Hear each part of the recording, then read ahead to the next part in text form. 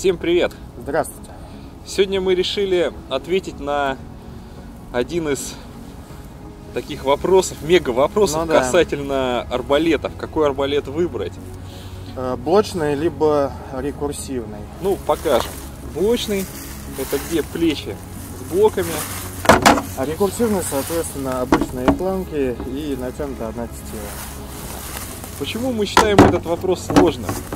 А все потому, что трудно провести аналогию, когда берутся арбалеты разных фирм. Если мы возьмем рекурсивный арбалет одной фирмы, а блочный арбалет другой фирмы, то однозначный вопрос мы не получим, какой из них выбрать. Потому что они отличаются очень многим. Ну, все же здесь, я думаю, это зависит от само, самого человека, кому что больше нравится. Многие думают, что блочный арбалет сложно обслуживать, а рекурсивный он неприхотливый и можно использовать его абсолютно везде. Ну, спорное мнение, однако же оно существует. В данном случае что мы имеем? Мы имеем арбалет фирмы Ten Point. Мы взяли его, ну, это топовый арбалет. Мы взяли специально его для того, чтобы не было вопросов, что взяли не тот арбалет. На этот арбалет выпускается два типа плеч. Это блочные и рекурсивные. Оба типа плеч подходят для этого арбалета. Мы сейчас сделаем замеры, отстреляем на точность, на скорость. И посмотрим. Да, я думаю, этим тестом мы закроем вопрос в выборе арбалета. Блочный или рекурсивный? Поехали! Поехали. Сначала замерим вес наших подопытных. Блочный арбалет весит 3 килограмма 700 граммов.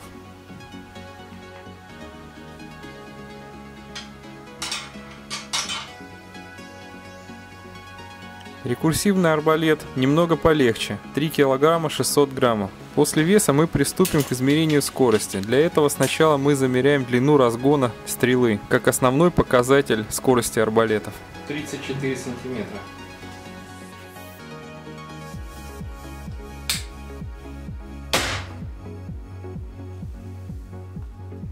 Скорость блочного арбалета составила 320 футов в секунду. 40 с половиной сантиметров.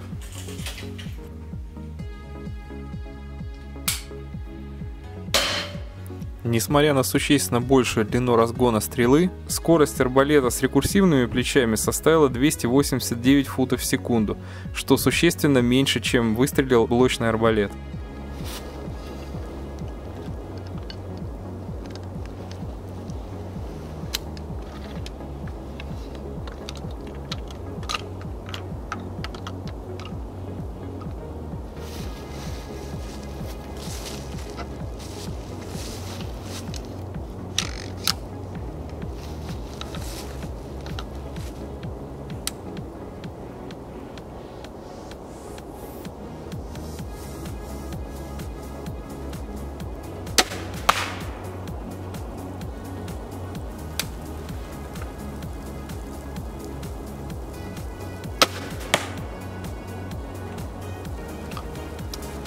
Работа блочного арбалета, конечно, она чувствуется. Вся мягкость распределения нагрузок, распределение на спусковой крючок. То есть он становится мягким, прогнозируемым, ну, как на хороших охотничьих винтовках.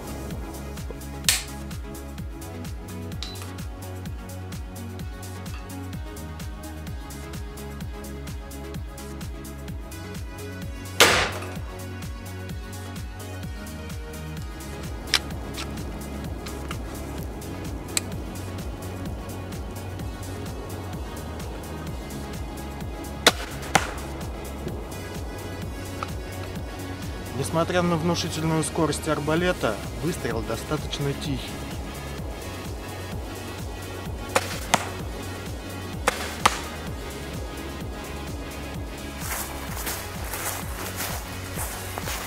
Ну что, вполне достойно. Да, блочники себя хорошо показывают на таких дистанциях. Да, для стрельбы с рук на 30 метров это достойно, я считаю. А давай сейчас ты подвытащишь чуть-чуть стрелу, и мы по краям пробоин замеряем вот эту кучность. Давай. Да, вот крайние стрелы. Ага. Но это не крайняя стрела, вот это вытащи. Вот, А, вот это. вот это, да. Стоп. Вот теперь померяй. Вот от этой сюда и от этой сюда. Так. Да, ну, наверное, вот это самые дальние, да? Ну да. Ага. Не, вот здесь надо мерить на мишени. Так. Семь. Вот здесь. Шесть и пять.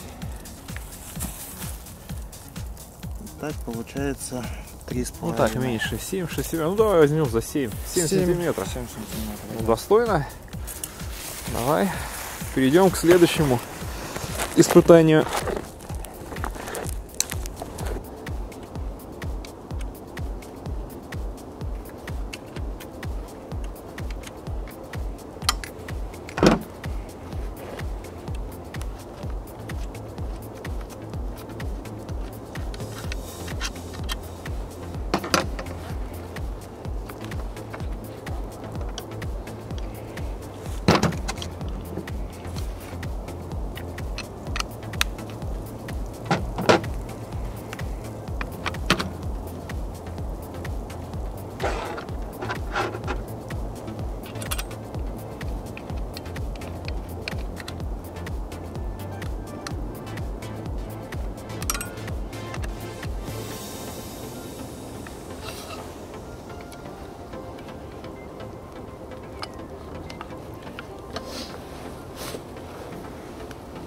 Фу,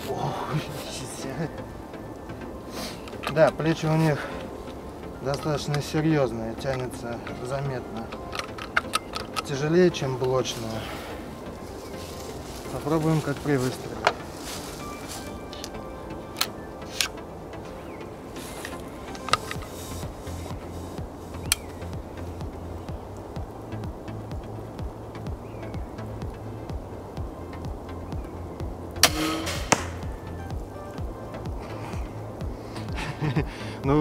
Сами услышали, какой здесь звук. Звук от самих плечей и от тетивы.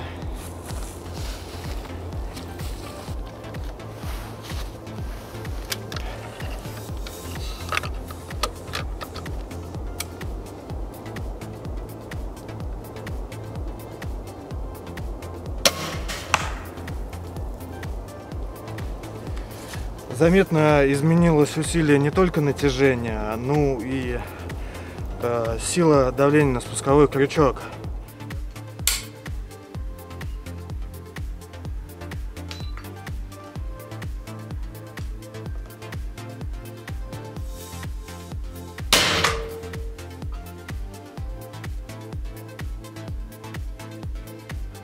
Я вроде снял с предохранителя, но все равно чувствуется, как будто он стоит на предохранителе. И его надо силой вытягивать.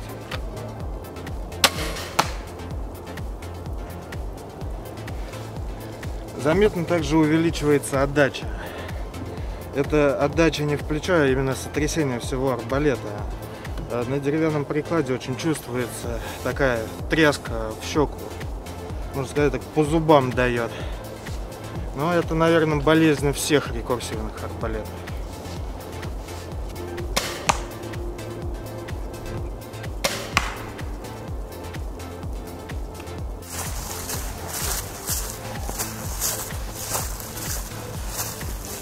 Так, ну тут, безусловно. Тут явный проигрыш.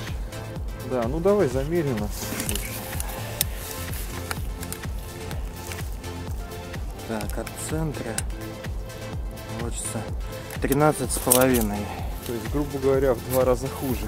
В два раза хуже. Но смотри, я могу это объяснить так. Я сразу заметил то, что как мы плечи переставили, изменился баланс. То есть э, на рекурсивных плечах баланс уравнялся и стало легче целиться. Но легче целиться не значит, что будешь лучше попадать. Я, кстати, вот заметил, что тут такая вытянутая линия попадания, то есть это ощущение, что вот тебе отдача мешала, что ли? Это вот именно болезни рекурсивников. Они вроде не тяжелые, не клюют вперед. Но у них есть э, вот этот вот баланс И плюс э, сильная отдача и лишняя энергия при выстреле. То есть э, ей надо управиться. И в последний момент э, вот надо стрелу попасть точно, удержать арбалет. А здесь по- получается, что это борьба с арбалетом, и получается вот такой вот разброс. Хотя кажется, что он легче и целится удобнее. Да, и причем у нас на арбалете стоит деревянное ложе, оно тяжелое и гасит отдачу гораздо лучше, чем пластиковое. На пластике было бы еще хуже гораздо. Но ты знаешь, большинство арбалетов рекурсивных, они все пластиковые. Да, ложе да. Ну, взять, если стрелял с рекурсивных Ну, арбалетов, конечно, стрелял. ну, сразу чувствуется, как в щеку отдача идет. Ну, есть такое, вибрация остаточная. Да, Ну, как говорится, на лицо. да, результат на лицо.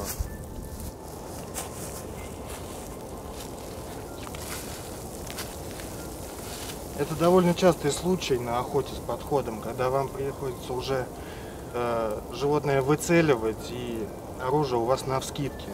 То есть пробираться даже через вот такие вот деревья с рекурсивным арбалетом достаточно сложно. Когда вы приложились, вам и деревья сложно обойти, и так, и так. 89 сантиметров.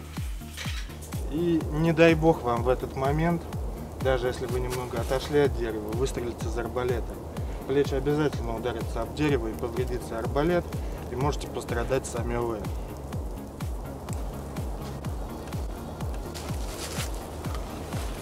Как видите, габариты блочного арбалета почти в два раза меньше, чем у рекурсивного. 57 сантиметров. И с ним можно пройти в тех местах, где с рекурсивным арбалетом вы просто не пройдете. Нет, конечно, это не отменяет внимание. И обязательно перед выстрелом надо удостовериться, нет ли где э, веточек или, не дай бог, дерева вот такого класса перед плечами. Потому что если вы выстрелите, отдача, как сказал Андрей, больно ударит. А прицел может приехать прямо в глаз. В этом случае, конечно, на охоте арбалет блочный неоспоримо имеет преимущество перед рекурсивным. Ну, собственно говоря, наш тест подошел к концу. Для себя мы ответили на вопрос однозначно. Да, Несмотря на то, что э, еще существует масса поклонников рекурсивных арбалетов, но следует признать, они морально уже устарели. да, блочный арбалет и тише, и быстрее, и точнее.